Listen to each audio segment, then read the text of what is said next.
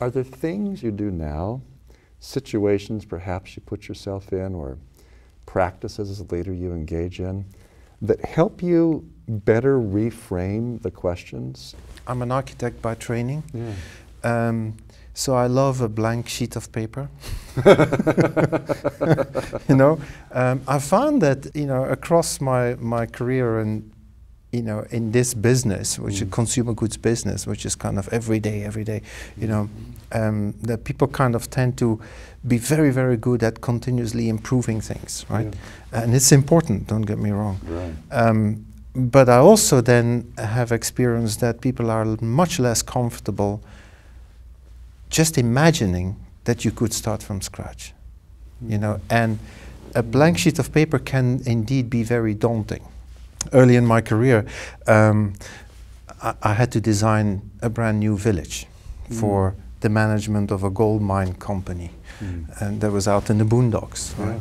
And so there's nothing, and you start from scratch, literally. Mm. And so, blank sheet of paper, and you draw a line, and that becomes, you know, the main road or the artery of the community.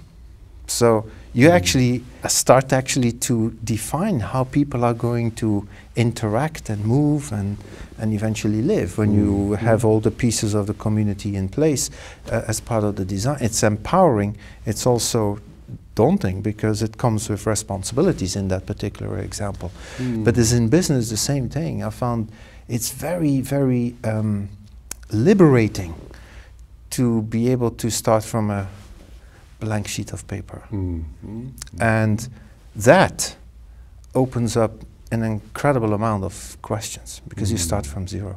I have the full spectrum. I have eight direct repo- eight, nine direct reports. I have the Mhm. full spectrum. You know, people that are really very good at stepping back and looking at the big, big picture Mm. and question what they are doing. And then I have the very, very operational. And I know I can never Mhm. push them to become, Mm. you know, or practice that other spectrum. Was that by design or by default? I'm a strong believer in diversity of thinking Mm. uh, and, and diversity of personalities. Mm. I think that is w- how a winning organization ultimately works. Do you have a recollection of at what point in your career or life did this diversity issue become important to you? About um, eight years ago, when, when I was asked to build that new, um, Okay. out of the blue, the new function, Mm. Global Juice Center. Um, and the reason why is it came from the realization that if you want to win in in any business truly, but in the, for us in the juice business Mhm. or in a beverage business that has ingredients that come directly from Mother Nature, that you really have to connect the end product and the consumer experience with the source of the ingredients. Mm. And so I call it it's a grove to glass business, Mhm. right? And what you you know promise the consumer, right, Mhm. as a brand and product promise is a function of what mother nature can give you. Mhm. And uh, mother nature doesn't give you every year the same ingredients in the same quality and then in the same quantity. So you need to have enormous flexibility end to end. Mm.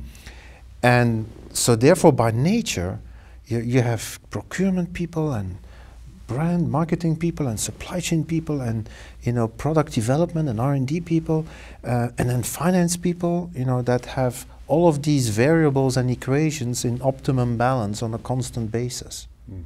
So by nature, it's it's a very cross-functional, interdisciplinary uh, approach uh, that is needed to win in that business, um, and uh, and and therefore you have you have that diversity of thinking, and that's powerful.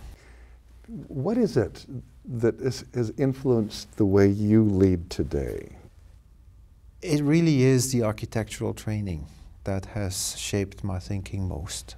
Five years plus seven years I worked as an architect, so it's it's twelve years of being really deeply surrounded and you know engulfed in three-dimensional thinking, Mm. um, you know spatial thinking, Mm. uh, very contextual right? Yeah. Um, holistic thinking, you know. So when I joined the Coca-Cola company, my first role was really around um, new factories and Mm. I'm surrounded by civil engineers and electrical, mechanical, Right. chemical engineers, and, and I'm an architect. And um, but I've always asked questions. You know, why are we doing it that way? Mm.